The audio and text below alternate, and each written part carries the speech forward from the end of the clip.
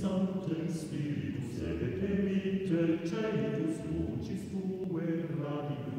Veni, Pater, Paterum, veni,